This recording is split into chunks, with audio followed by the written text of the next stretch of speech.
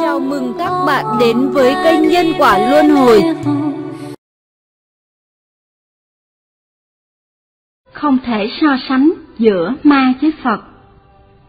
Vào thời Triều Minh, Đại sư Liên Trì, năm 1535-1615, sau khi xuất gia, đã đi khắp nơi để tìm minh sư học đạo. Sau khi vào kinh đô, Ngài đến tham bái hai vị đại lão đạo cao, đức trọng trong thiền tông là Biến Dung và Tiếu Nham. Đại sư Liên Trì, sau khi được nhị vị lão sư khai pháp chỉ điểm, Ngài bèn đi đến Đông Sương, và khi nghe tiếng trống thì bỗng nhiên giác ngộ. Nhân đó, Ngài làm bài kệ. Nhị thập niên tiền sự khả nghi, tam thiên lý ngoại ngộ hà kỳ, phần hương trực kích hồn như mộng, ma Phật không tranh thì giữ phi. Nghĩa là, mối nghi từ hai mươi năm trước, lạ thai cái ngộ ngoài ngàn dặm, đốt nhang ném kích như trong mơ, ma Phật phải trái uổng công tranh. Bất luận là đọc kinh hay xem luận, chúng ta cũng phải dùng trí tuệ để phân biệt phải trái. Điều tối kỵ là chúng ta dùng tâm, ý và thức để suy đoán. Vì tâm, ý và thức chỉ là để dối lừa người. Ba thứ này có sức mê hoặc rất lớn, khiến cho con người không phân biệt được phải trái, lý sự chẳng minh bạch, đen trắng lẫn lộn, thành ra hỗn độn không rõ ràng. Có một số lý luận, mới nghe thì hình như có đạo lý, nhưng người có trí vừa xem qua là biết không đúng. Còn người vô trí thời bị mắc lừa mà nghe theo một cách thích thú. Có một số khác thì như người bị mù dắt kẻ đuôi, không phải vì cố ý, mà vì tự bản thân họ cũng chưa hiểu rõ. Cho nên, họ đưa đẩy người khác lạc hướng vào lối rẽ, cuối cùng chẳng đến được nơi tốt lành. Bởi vậy, chúng ta đừng nên xem thường việc phát biểu ý kiến của mình. Nếu trên vấn đề căn bản mà chúng ta luận giải sàng bậy, thì đó sẽ như câu nói, sai một hào, một ly, thì khác biệt một trời, một vực. Thậm chí còn làm cho cả thế giới rơi vào hoàn cảnh đen tối, không ánh sáng. Do đó, trên nguyên tắc lý luận, chúng ta phải có sự nhận thức chính xác rõ ràng.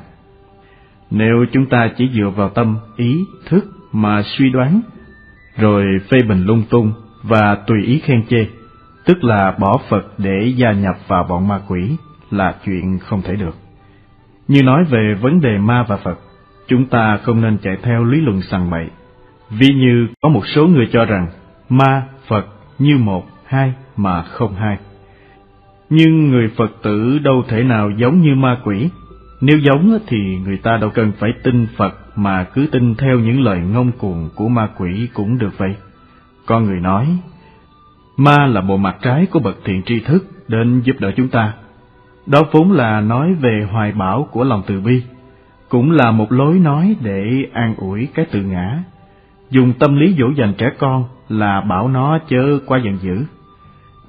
Cách nói như thế cũng vẫn là để hóa giải việc phân tranh và oán hận ở bên trong, bởi không muốn xem ma quỷ như kẻ thù địch. Nếu nói mặt trái của ma quỷ là giúp đỡ người, nhưng nó cứ lần lượt nuốt sống con người hoặc là đưa con người vào chỗ chết, như thế thì gọi là giúp đỡ sao?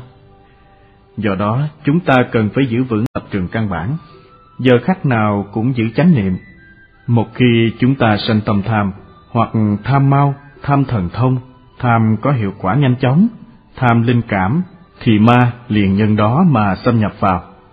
Có một số người rất thông minh, nhưng tại sao cũng có lúc họ bị tâm ma khí quỷ? Là bởi đối với những nguyên tắc căn bản, họ chưa có nhận thức rõ ràng. Nếu họ nắm được căn bản rõ ràng, thời bùa chú của ma cũng không linh nghiệm đâu.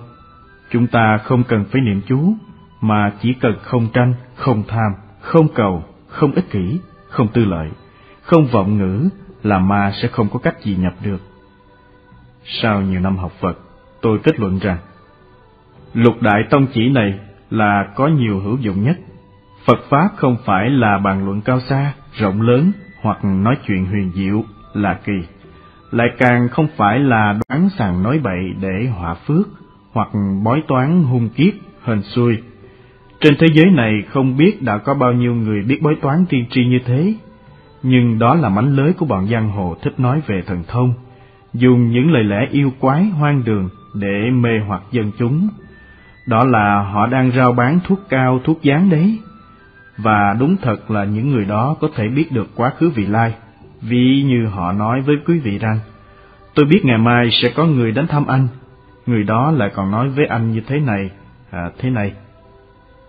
Hoặc như trước kia anh đã làm những việc gì, tôi đều biết rõ cả. Nhưng họ đều có chỗ sơ sót là không dứt được dâm dục, hoặc háo tài, hoặc luyến sắc. Đó đều là cảnh giới của ma quái. Nếu người nào có tâm tranh, tâm tham, cầu danh cầu lợi, hoặc tuyên truyền đề cao cá nhân mình để cho người khác sùng bái mình, lại còn ích kỷ tư lợi và không nói lời chân thật, thì chúng ta nên biết rằng người này đang trong cảnh giới của ma. Nhân dịp Đại sư Liên Trì tham bái hai vị lão sư Biến Dung và Tiếu Nhan, Đại sư được hai vị khuyên bảo rằng, người xuất gia tu đạo là vì sanh tử đại sự, đừng để danh lợi làm liên lụy. Lúc bây giờ, tại đạo tràng đó cũng có một số người tham gia học tập, nhưng không mấy ai để ý gì đến lời khai thị này. Duy chỉ có Đại sư Liên Trì là thâm hiểu được ý nghĩa sâu xa và tâm trí đầy hứng khởi. Cho nên khi rời kinh sư đến Đông Sương, Đại sư bỗng hoát nhiên khai ngộ, bèn làm bài kệ trên. Thật ra bốn câu thơ đó chỉ là thứ yếu, còn lời lẽ tối trọng yếu là không được tìm cầu danh lợi, đó mới là chìa khóa chủ yếu của câu chuyện này. Quý vị đừng tưởng rằng Đại sư Liên Trì đến Đông Sương mới khai ngộ, mà ngay từ lúc đầu, Đại sư đã từng bước, từng bước đi trên con đường khai ngộ rồi. Đến lúc đứng trước mặt hai vị lão sư Biến Dung và Tiếu Nham, bị hai ngài hét cho một tiếng lớn vào đầu, khiến đại sư hoát nhiên khai đại ngộ ngay. Sau khi xuất gia thì không đam mê danh lợi, đó là bài chú có hiệu quả nhất. Có thể chiến thắng tất cả bọn ma quân. Chúng ta hãy xem lời văn của bài kệ như sau. Mối nghi từ hai mươi năm trước, chuyện sanh tử đại sự này đã khiến đại sư liên trì bối rối nghi hoặc từ lâu, bởi chưa hiểu nên đại sư phải xuất ngoại tham vấn, cầu bậc thiện tri thức giải quyết dùm mối nghi ngờ. Là thai cái ngộ ngoài ngàn dặm, trải qua ba ngàn dặm, sau đó đại sư đến Đông Sương, thì đột nhiên khai ngộ. Điều này sao mà kỳ diệu quá, bao chấp trước của đại sư bỗng nhiên tiêu tán hết. Đốt hương ném kích như giấc mộng, thắp nhang cúng Phật là chuyện tốt, còn ném đao kích đánh lộn với ma quân là chuyện xấu. Trực kích cũng có thể là ném bỏ khí giới, tức là không đánh nhau nữa. Tất cả những điều đó cũng giống như giấc mộng thôi. Vì sao giống như giấc mộng? Bởi vì mình chưa hiểu rõ một cách triệt để. Mà Phật phải trái uổng công tranh. Bây giờ Đại sư đã hiểu rồi. Trước đây, vì Đại sư cứ dụng công ở chỗ hư vọng thị phi, phải trái, cho nên đều là uổng phí tâm sức. Đại sư Liên Trì cũng không nói rằng Phật và ma như là một, mà ma là ma, Phật là Phật. Hai bên đều đã không quan hệ với nhau thì có thị phi. Phải trái gì đáng phải tranh cãi hả? Những cuộc bàn luận phải trái lúc trước đều là hư vọng, chẳng phải thật. Nếu muốn hàng phục bọn ma, quý vị phải có chút ít công phu chân thật. Không phải chỉ thiền nơi miệng mà có thể làm được. Còn một cách khác là, vô ma bất hiển Phật, vô Phật bất hiển ma. Không có ma thì Phật chẳng hiện, không có Phật thì ma chẳng hiện. Ma và Phật cũng là pháp tương đối với nhau, chứ không phải khi Phật đã khai ngộ rồi thì ma và Phật nhất như là một đâu. Sau khi Phật khai ngộ rồi, thời ma, Phật cũng vẫn như trước, chỉ ngoại trừ, Phật thì không có tư tưởng thù địch. Phật xem tất cả chúng sanh bình đẳng, và ma cũng là một phần tử trong chúng sanh, cho nên Phật xem ma là đồng đẳng. Nhưng mà đối với Phật có bình đẳng hay không? Tuyệt đối là không. Vì lúc nào ma cũng muốn lật đổ Phật. Qua hai mươi năm sau, Đại sư Liên Trì mới hiểu rõ đạo lý không tranh. Đại sư giác ngộ rằng, trước đây mình chỉ tranh cãi phải trái ở bề ngoài một cách vô ích. Lúc đó đại sư đã không hồi quan phản chiếu và không quét dọn sạch sẽ cái tự tánh của mình, cho nên hễ người ta tranh là đại sư liền phiền não. Tôi nói đạo lý rất là đơn giản, hy vọng quý vị ngẫm nghĩ lại cho kỹ càng. Bởi vì trên nguyên tắc, chúng ta không được phạm lầm lỗi. Quý vị đều còn trẻ, và cũng không nên tùy tiện nói ma Phật như là một, hoặc giả người đã đại triệt, đại ngộ rồi thì có thể nói như thế, bởi vì cảnh giới hiểu biết của họ không giống với quý vị. Nhưng chúng ta hãy còn là trẻ con, cho nên không được dối mượn đạo lý của người xưa, để rồi gượng gạo luận giải một cách sai lầm. Ví như trẻ con chưa biết lái xe, mà quý vị để cho nó lái thì rất dễ gây ra tai nạn, đến nỗi mất mạng là khác. Có một số người khi nghe nói ma Phật nhất như, thì họ nghĩ rằng, thế thì mình lại Phật để làm gì? Mình làm nghiệp ma thì cũng không phải là nghiệp Phật hay sao?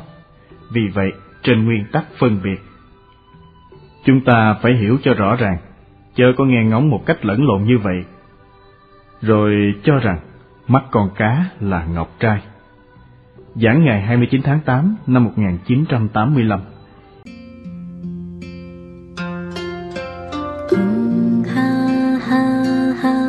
问什么的所？